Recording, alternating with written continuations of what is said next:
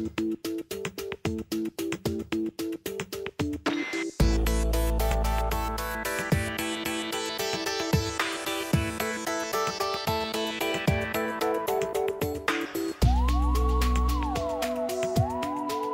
big question I'm asking everybody Yes.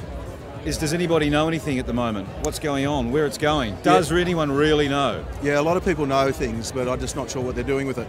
Ah, Yes, controversial. give us give us give us a bit more on No, that. what I mean is we are actually suffering from data overload. Yeah. We're analysing data like crazy. I'm not sure we're actually getting the right things out of it. Sometimes you've got to boil it back down. It's like cooking. You bring it down, you simmer it, and you get the, the essence of what you're after.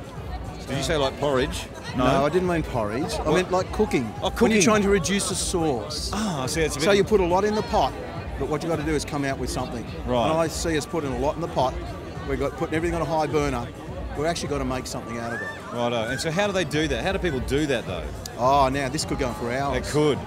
We, we Um, can edit you though. No, my, my belief is you've, you've got to take all of that data and make it bespoke to your individual client. The people who try and do this and extrapolate to any ad, any category, any client, I think you make an error. Okay. Uh, but it's all possible.